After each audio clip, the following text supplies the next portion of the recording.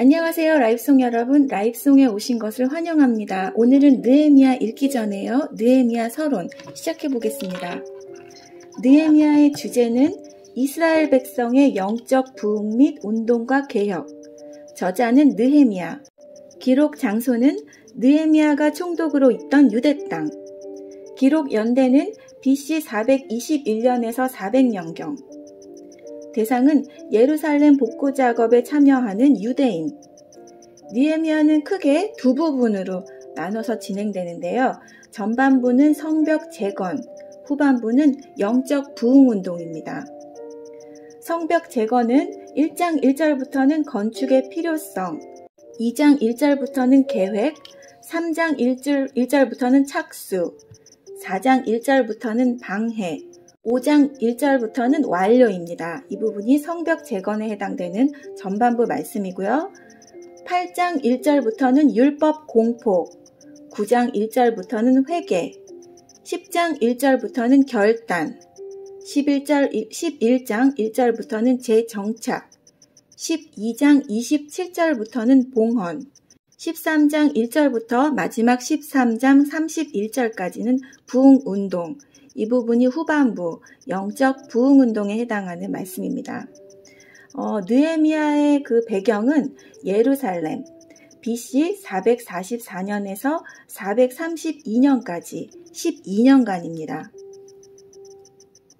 느에미아 2해 BC 458년 봄에 에스라는 유대인의 한 무리를 이끌고 예루살렘에 돌아왔다. 그는 당시 백성들 사이에서 성행하던 이방 민족과의 결혼 풍습을 근절시키고 예루살렘 성벽을 재건하고자 하였던 것 같다. 그러나 방백 르음과 서기관 심세에 의해 성벽 재건을 반대하는 상소문이 아닥사스다 왕에게 올려지고 왕은 공사를 중지하라는 명령을 내렸다. 왕의 명령이 내려지자 르음과 심세는 예루살렘으로 올라가 성벽을 허물고 성전을 불태우면서 강제로 공사를 중지시켰다. 이 소식을 들은 느에미아는 슬픔을 이기지 못하고 하나님 앞에 무릎을 꿇었다. 그리고 느에미아는 아닥사스다에게서 유다의 총독으로 임명받고 예루살렘으로 돌아와 유다 사람들을 새로이 일으켜 세우기 위해 에스라와 합심하여 노력하였다. 본서는 크게 두 부분으로 구성된다. 첫째는 1장에서 7장으로서 제3차 포로귀환을 인솔한 느에미아가 1차적으로 생벽, 성벽 재건에 관심을 갖고 이방 대적들의 끈질긴 방해 공작에도 불구하고 신앙의 힘으로 이를 극복하여 마침내 52일 만에 성벽 재건을 완수한 내용으로 이루어져 있다. 그리고 두 번째는 8장에서 13장으로서 성벽이 완공된 후 학사 에스라를 중심으로 하여 백성들을 성별하여 굳건하게 세우는 영적 부흥 운동이 전개된다. 하지만 이스라엘의 신앙, 신앙 개혁 운동은 어떤 면에서 부족한 점이 많았다. 이 소식을 들은 느에미아는 다시 예루살렘으로 귀환하여 성전을 정결케 하고 안식일을 지킬 것을 강조하며 이방인과의 통혼을 금지하는 등 개혁 운동을 전개하였다. 본서가 기록하고 있는 내용은 하나님의 도석인 예루살렘의 재건과 언약, 언약의 백성을 회복시키고 개혁하는 것이다. 니에미아에 의해 이루어진 이스라엘의 일시적 회복은 장차 그리스도를 통해 실현될 하나님의 백성들의 완전한 구원을 가르쳐주며 소망케 하는 것이다. 이런 의미에서 이 책의 주인공으로 등장하는 느에미아는 신약의 그리스도를 예표하는 인물이라 할 수 있다.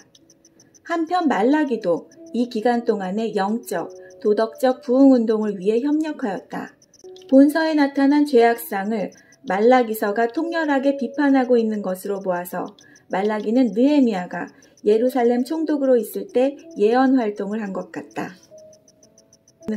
중심 주제 기도 느에미아는 성벽 재건의 필요성을 절감했을 뿐만 아니라 구체적인 준비와 기도로서 하나님의 주권적 도움을 청했다.